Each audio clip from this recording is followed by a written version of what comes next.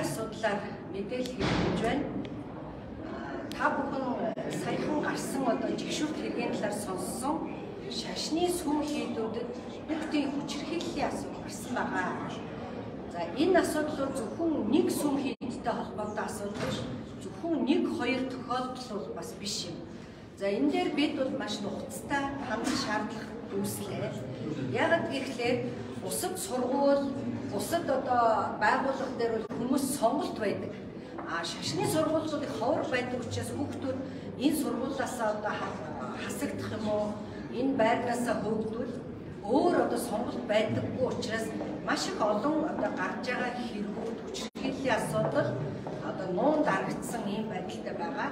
Тийм учраас энийг зөвхөн нэг тохиолдол гэж авч үзэхгүйгээр өнөөдөр энэ асуудал нөхцөлтэй хандах хэрэгтэй байна. Ялангуяа одоо манай одоо ээжүүд, эцэг эхчүүд, эмэгтэйчүүдийн онцгой анхаарах хэрэгтэй.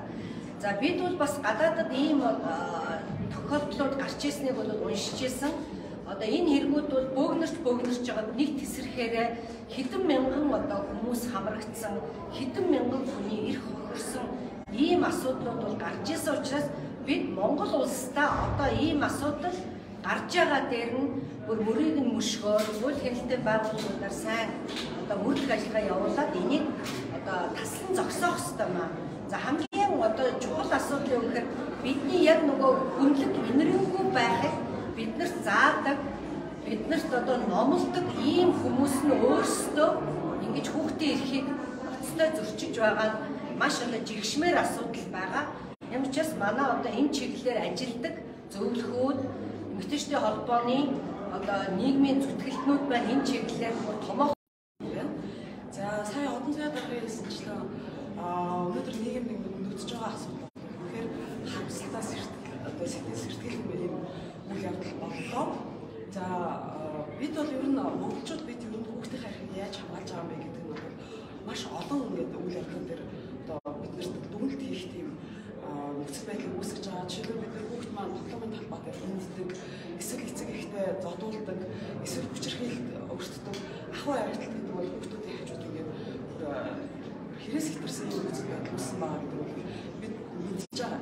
Гэтэл одоо яг өнөөдрийн энэ нөхцөл байдал бол шашны байгууллага буюу нийгмийн хөтөлбөгч оюун санааны асар том юм хүмүүжүүлэгч гэр бүлийг залуучуудыг үлгэрлэн дурааж зөв зөвтэй байлгах ийм том хөдөлгөгч хүчин нэг нэгээс хамарсан салбарт маань энэ хүүхдээ хүчирхийллийн асуудал яриа зогсож байна гэдэг бол манай Монголын нийгмийн ялцралд ороод ямар одоо нөхцөл байдалд хүрснийг илэрхийлж байна гэж үзэж байна. Энэ бол маш харамсалтай байна. Аа шашны одоо өнөөдөр Монгол улс 2022 оны байдлаар сүм хэд үйл ажиллагаа явуулж байгаа сүм хэдийн тоо 346. За үүнээс яг шашны сургууль татсан шагнан сууж байгаа суралцагчдын тоо 244 гэдэг ийм тоо гарсан байна.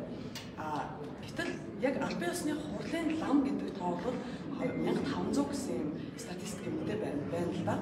Тэгэхээр бид нэр эндээс бас хүний эрхийн үндсийг хэмжиж болгон шашны байгууллагууд дээр очиж шалгалт хийдгийм байна. Гэтэл дотор байна энэ шалгалт огт явагддаггүй. Тэгэхээр бид нар энийг бодлогын түвшинд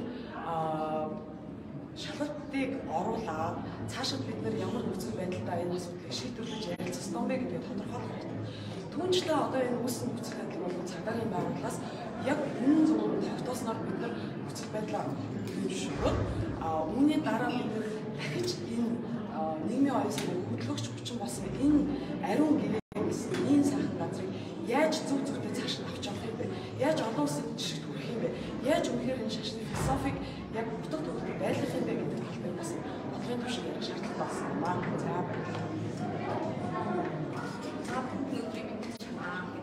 За сайхан орцсон эмэгтэйчүүд холбооны үндэсний олон гишүүн. За бүгд хүчин хэсэг үндэсний холбооны бас тогтолцогч гишүүнтэй явж байгаа. За тэгээ өнөөдөр бид нэр хамгийн гол нь энэ хэвлийн байгууллагын хүрээнд мөрийг мөшгий гэсэн үндэсний хөдөлгөөнийг өгнүүд яа гэж арцын битгчтэй холбоо шийдвэр гаргасан. Яагаад энийг бид нэр ингэж хүчилж үзэж гэхээр ер нь ламнартай холбогдлоо, энэ гадтай холбогдлоо юм хөвчлөлтэй асуудлууд маш их яригддаг шүү дээ гэсэн мөртлөө яг чи дагтчдаг. Саяны энэ асуудал бол яг их тод болсон учраас бид нар энэ дээр бол нэгдүгээр хууль хяналтын байгууллагыг үнэн мөнөөр шударга тогтоох хүртэл бид нар хамтдаа байна. За цаашаа бид нар энэ үйл ажиллагааг их гэж иймэрхүү одоо эм хэрэг гэж үлдэхгүй байх үстийг бүрдүүлэх үүднээс энэ мөрийг бүршгийг гэдэг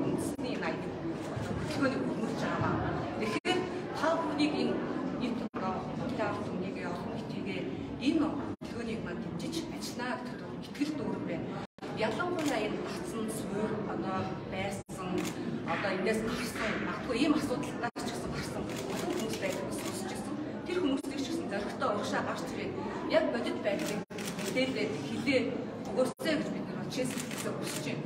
Өчнөө олон одоо ирээдүй болсон хүүхдүүдийн маань тий ихтгэл найдварыг ийм одоо одоо муухай бозор муухай хэрэгээр гэж утаа доромжилж байгаа бид нар хамсаж байгаа. За тэгээд ер нь ламар өөртөө 2016 онд ч тэр 2022 онд ч тэр 15 настай охиныг засал хийн гэж байгаа хүчин шүү дээ.